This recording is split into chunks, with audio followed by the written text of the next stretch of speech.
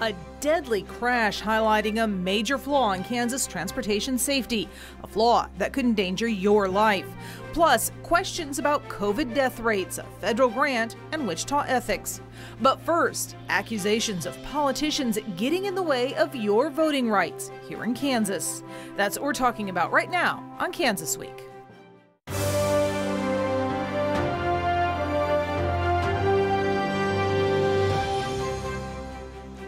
I'm Pilar Pedraza, and this is Kansas Week. We begin today with the accusation there are those in Kansas who are keeping some of you from voting, and it may not be who you think. That's just part of what former Sedgwick County Elections Commissioner Tabitha Lehman had to say in a sit-down interview with the ACLU. Lehman, a Republican, sat down for a nearly hour-long conversation with the ACLU, covering everything from voter suppression to fraud and the role of voter ID laws in securing your vote. Now, she said that there's no doubt there are groups out there trying to keep some Kansans from voting, and they come from both political parties. For example, she pointed to Democratic efforts to vilify the use of provisional ballots. Despite accusations that the use of provisional ballots is an attempt to not count your vote, Lehman says those ballots actually protect you from any mistakes election workers might have made, making your vote more likely to be counted. Meanwhile, she says she's had policymakers admit to her they're trying to keep marginalized groups like African Americans, women, etc., away from the polls. I have not met an election official, and I am very much involved, still am at the national level, at um, across the country. I have not met a single one who I honestly believed was trying to suppress anyone's vote. I have met many policymakers who have flat out acknowledged to me they are seeking to suppress certain people's votes. Lehman says she's also a big fan of mail in balloting, and despite hearing stories of problems like ballot harvesting, she's never been able to track down a single confirmed case. And here to discuss this and other topics of interest this week, we have not Senator Larry Alley, who was supposed to be with us but got stuck in Topeka. Instead, we have State Representative Patrick Penn, Republican from Wichita. Thank you so, Thank much you so for much, jumping in at the Appreciate last it. minute. Yes, ma'am. And joining us by Zoom, we have Democratic State Representative Rui Xu from Westwood. Thank you both so much. And Rui, I've got you up, so we're going to start with you. What was your takeaway as you listened to this story? Uh, it was a lot of head nodding. It's the same thing that I'm experiencing with uh, Topeka. I, I think we all know. I, I'm a big fan of, of tension. My parents were both scientists, push and pull, and elections are always a, a tension between accessibility and safety, right? And over the last, you know, several years, I, I've only heard that our elections were 100% safe and secure um, from election officials all the way up to the Secretary of State Scott Schwab. Um, so I don't see any reason to, to make them any less accessible if they're already safe. Interesting point there. Uh, Patrick, what about you? What was your takeaway? Absolutely. Uh, I actually worked before getting into politics as an election poll worker, as a supervising judge, received the training, and also as a poll worker on, on different elections, some big, some small.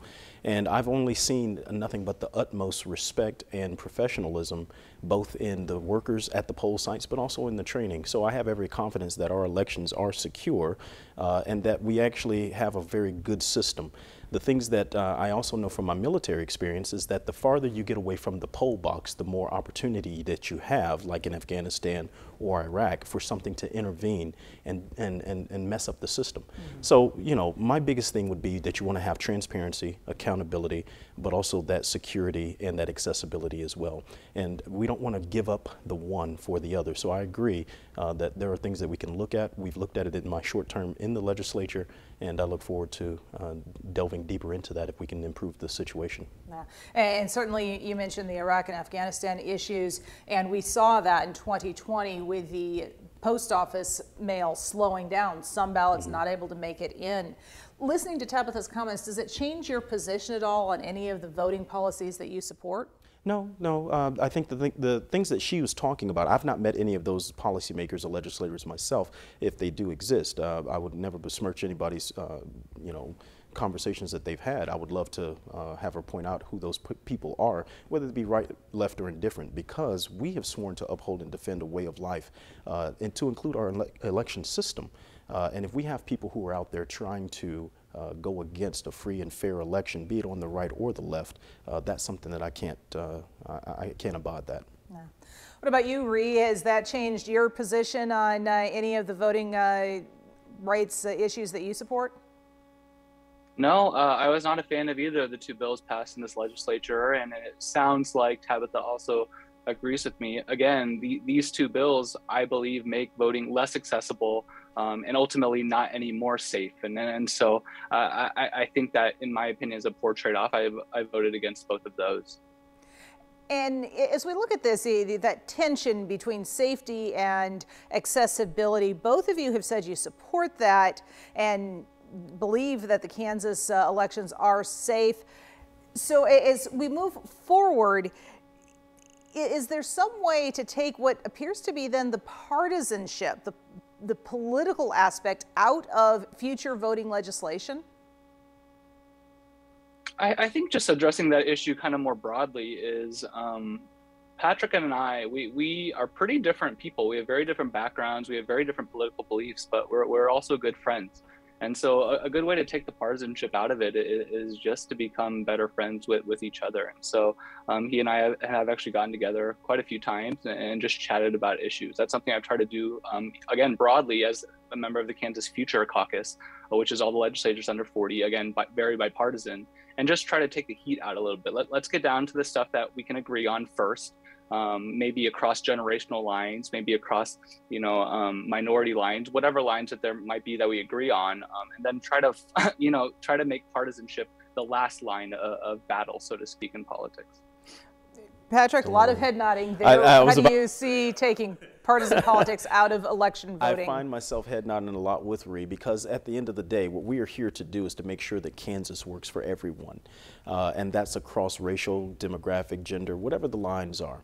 Uh, there are the things that bind and, and, and call us together as Kansas citizens. So if we can figure out a way for these things that we definitely agree upon and get those things squared away going forward, I think that's the way that legislation should go when we get around the periphery and the edges, the things that uh, would give us an advantage or whatever the case might be politically, well, that's where we have a little bit of consternation and we can have those battles. But the lion's share the majority of what I've seen in the State House are people of general goodwill, like uh, Rui, who are coming together trying to get the business and the work of Kansans done.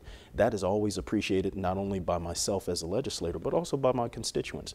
Um, so I think that, you know, while we, like you said, we, we come from different ends of the spectrum, me personally, I would like to see an election day. That's my experience. That's how I grew up. I would like to see it at the polling site. But that is probably on the extreme and politics is the art of the possible.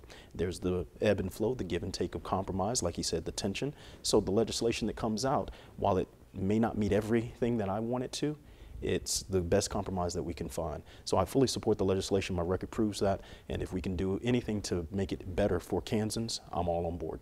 All right. And a quick note, Tabitha will be joining us as a panelist next week for our post-election episode. But first, you've got to cast your votes in those local races, races that are becoming more partisan and filled with more mudslinging every week, as KAKE's Jackson Overstreet shows us. Less than a week to go before the November 2nd election, but voters are already heading to the polls.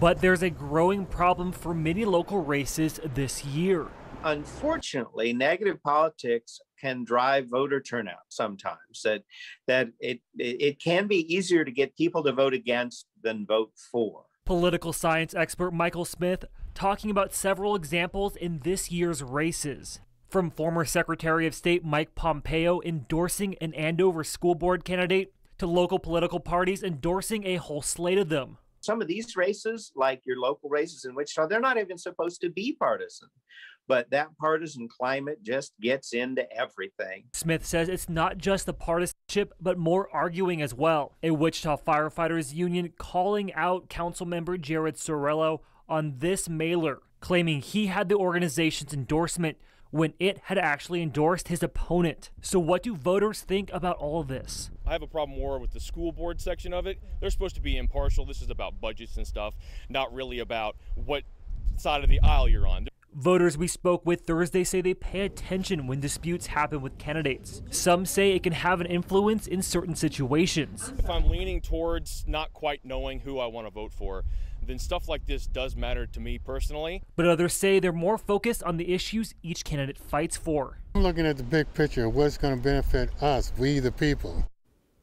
And as we look at this issue, this slide into the muck, shall we say, is there a way to slow it down? I don't know if there's a way to slow it down. I think uh, emotions make excellent foot soldiers, but horrible generals. That has been a mantra of mine for uh, quite some time. And I will tell you what I mean by that. When you have your passions inflamed and inflared uh, by people who are third parties or trolls and social media, uh, I think that a lot of this uh, noise and, and, and, the discontent and the discordant that we have uh, can be taken out by people reining in those who support them on the right and the left. I think another piece of it is, is that we have to get back to the point where we are seeing exactly as one of the persons interviewed said, that this is not about the partisanship, it's about the budget.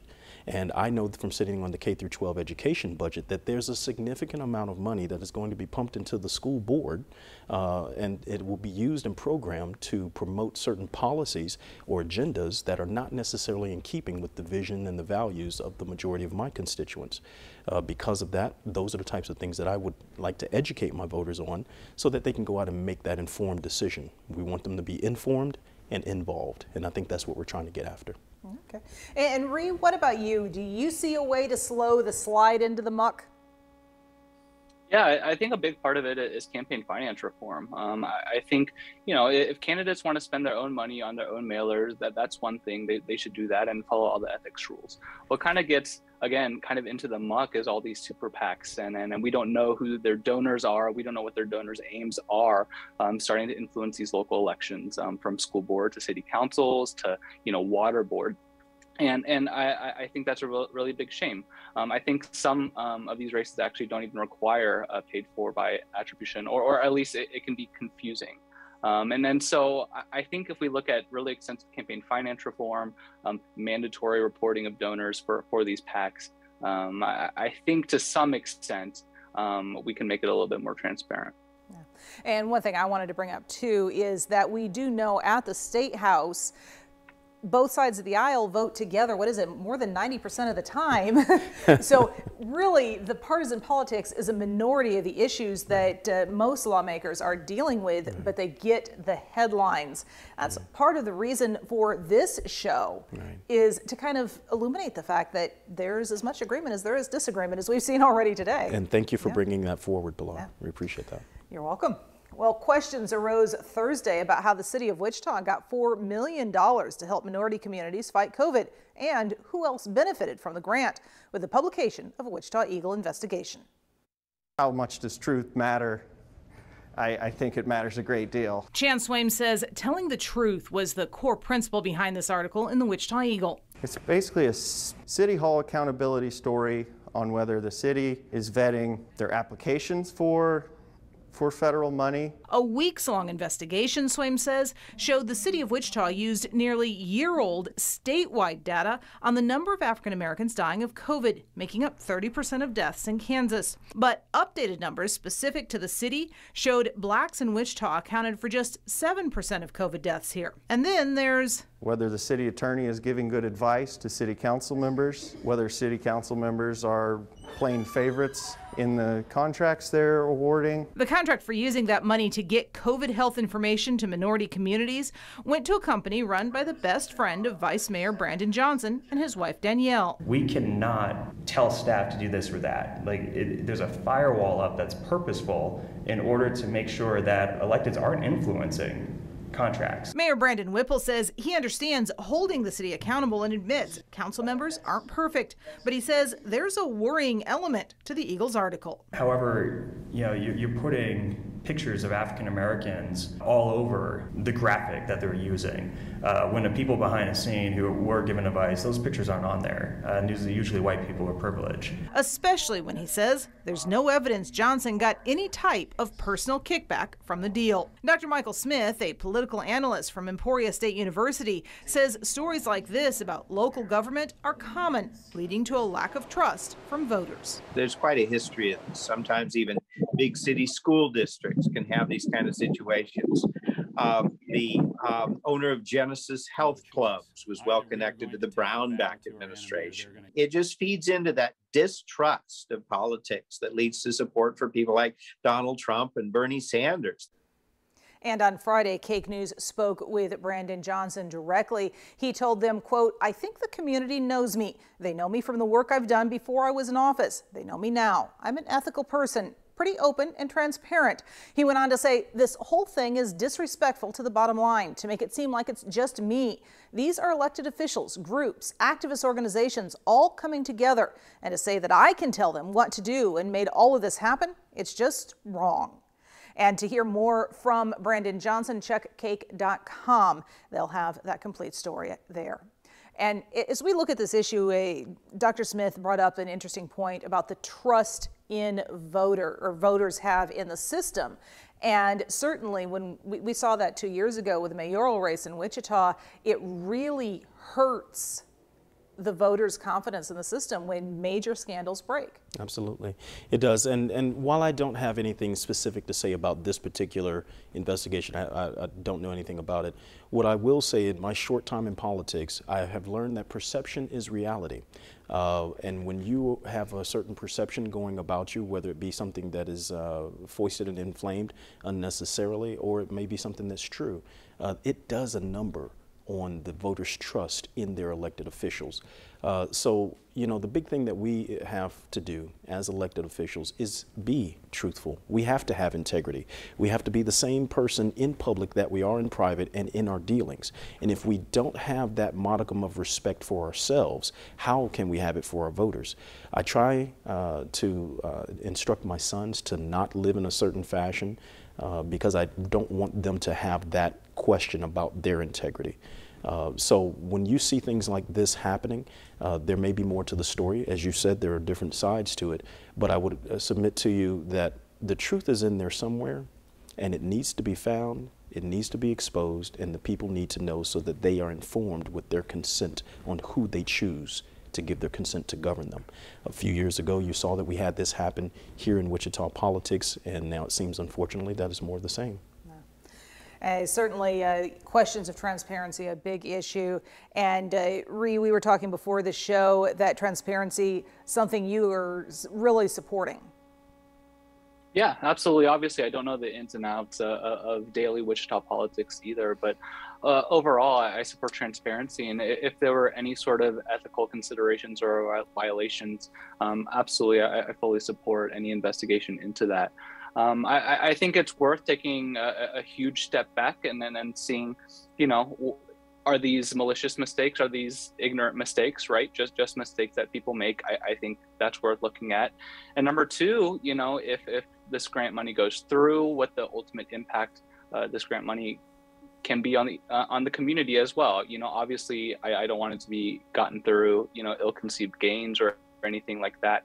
Um, but you know, if if the mistakes are rectified, um, if this money does still come through and it can do a, whole lot of good in the community, you know, ultimately that that's that's ultimately what matters, right? Um, hopefully these mistakes and if they are mistakes get get forgotten and then um, the people's lives are, are improved and and and, and again I, am trying to read this with uh, the rosiest and, and, most optimistic look possible um, because I, I, just don't know what's going on here. Yeah.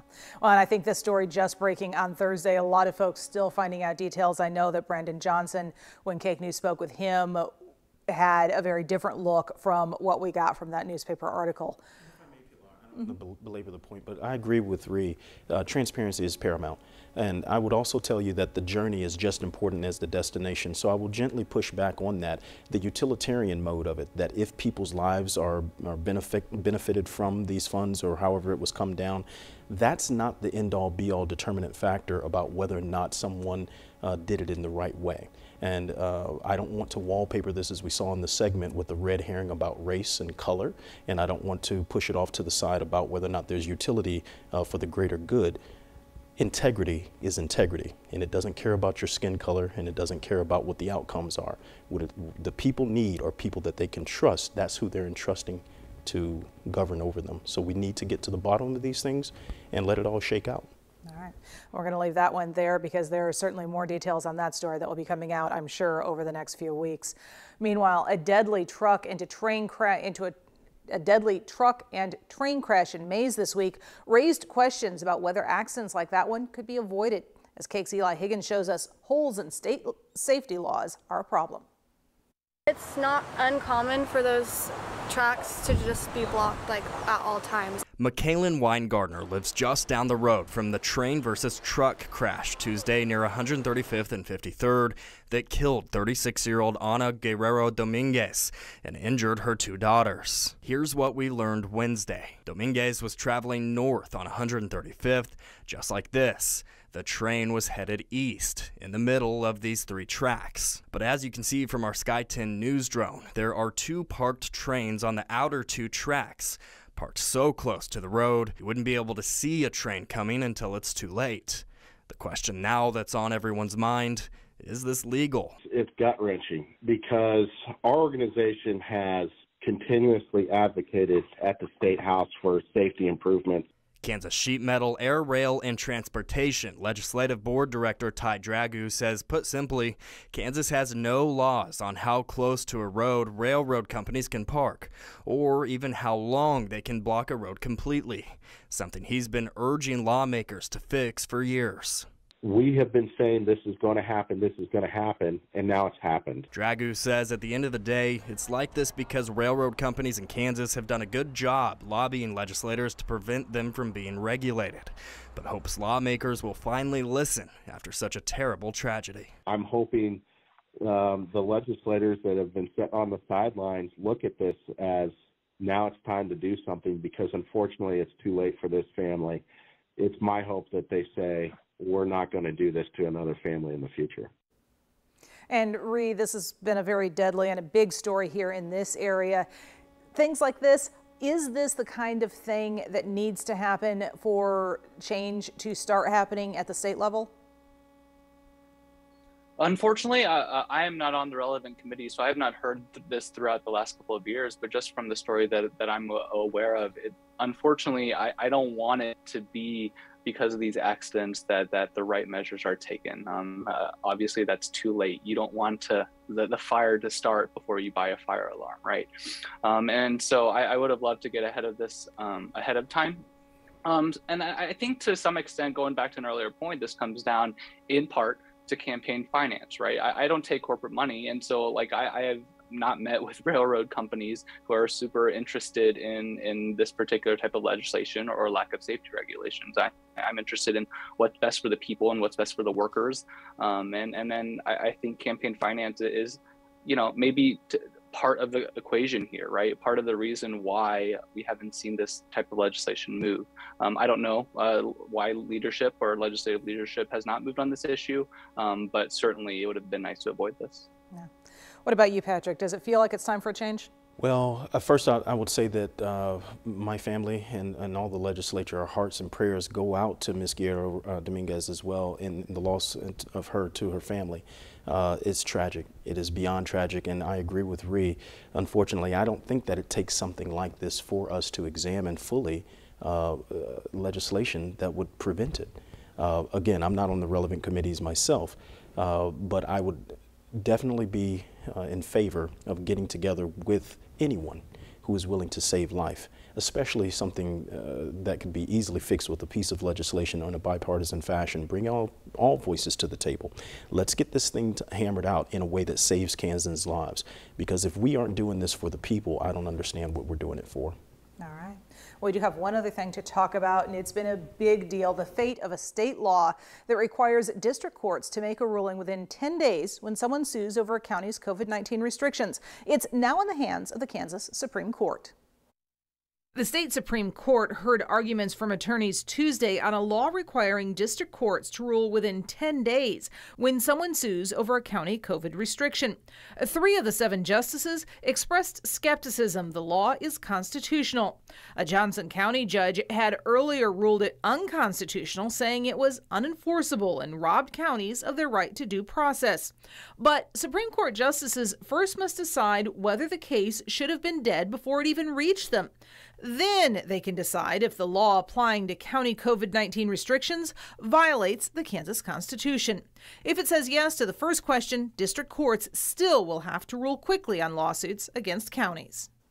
And we, of course, have to wait for the Supreme Court to make its ruling. Has not happened yet. But this entire fight's been going on ever since last spring, legal fight over this law. Does that lead to perhaps more changes to the state's Emergency Management Act uh, as we go into the next session, or is it the point where lawmakers are saying we're done with it? Well, again, that's something that we have to get in touch with our legislative leadership uh, to understand exactly where the body is. Mm -hmm. Are they done on the right or the left eh, within the caucuses? What I would say is that what has been my experience, you go up there thinking that you're going to take a, a, a a bulldozer to an issue and change the world, get a piece of legislation passed, but really what you need is a chisel uh, because things can be done, but they can be improved upon.